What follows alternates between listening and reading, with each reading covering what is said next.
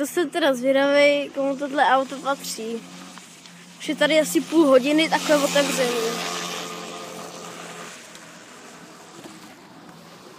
Budeme na primě.